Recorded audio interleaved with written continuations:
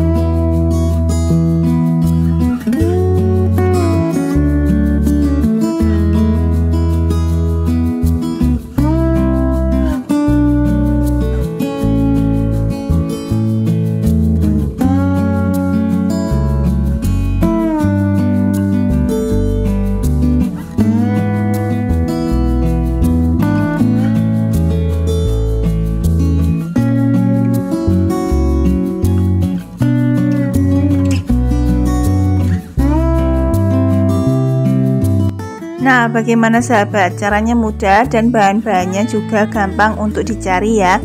Semoga kalian bisa terbantu dengan adanya media pembelajaran ini.